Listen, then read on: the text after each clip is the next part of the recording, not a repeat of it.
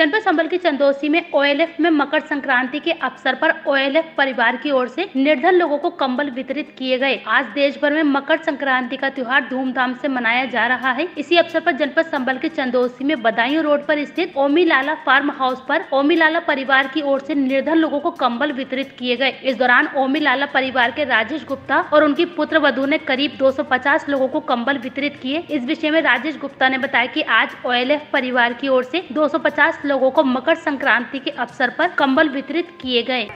राजेश गुप्ता। ये आज जो आपने कंबल वितरण करे हैं मकर संक्रांति जी। पर। किन लोगों को करे हैं? गरीबों के लिए। कितने कंबल के करीब होंगे? ये ढाई सौ कम्बल ओ परिवार की तरफ़ से ओ की तरफ़ से। मकर संक्रांति के उपलक्ष्य में और खिचड़ी वितरित करी है।